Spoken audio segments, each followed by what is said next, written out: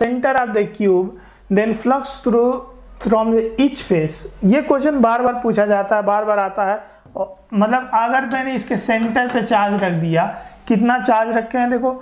Q Q micro कुलाम रखे हैं। Capital Q micro coulomb है। तो क्यू इंटू टेन की पावर माइनस सिक्स कुलाम है।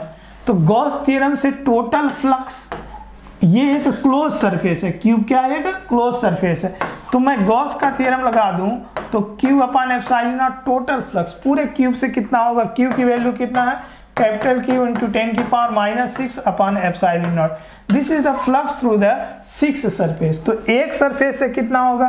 तो flux through the one face one face से कितना फ्लक्स होगा? वो भी निकाल सकते हो। तो फ्लक्स फाइव अपॉन सिक्स मतलब ये आ जाए क्यू इंटू टेन की power minus six upon six epsilon naught this is the flux through the one surface micro ten की power minus six six epsilon naught मतलब ए ऑप्शन सही है। कहता है charge Q placed at the centre of a cube मतलब cube के placed at the corner corner पर रख दिए हम सेंटर पर नहीं corner of a cube the electric flux passing through the all the six surfaces ध्यान देना, एक सरफेस से नहीं पूछा एक सरफेस से पूछेगा तो अलग हो जाएगा। और हमारे पास पहले समझने की कोशिश करो, एक क्यूब है, ये यहाँ पर क्यूब है।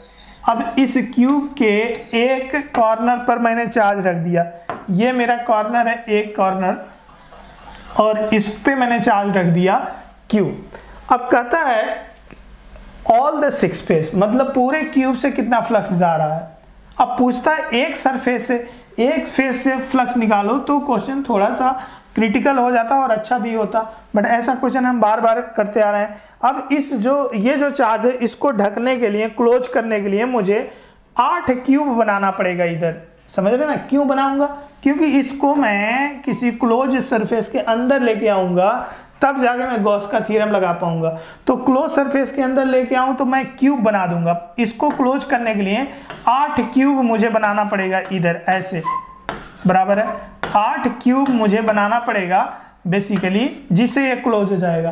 तो इस पूरे आठ जो क्यूब है, सात बनाने पड़ेंगे, एक ये होगा। और ये आठ क्यूब के सेंटर पे आ जाएगा। तो ये जो आठ टोटल क्यूब है, उससे फ्लक्स कितना हो जाएगा? Q upon epsilon naught this is the flux through the eight cube जो हमने बनाया। इसका मतलब ये हुआ कि flux through the one cube तो वन क्यूब से कितना होगा? Flux through the one cube by Gauss theorem तो फ्लक्स फाइव अपॉन एट क्योंकि आठ क्यूब है मतलब Q upon eight epsilon naught बराबर है?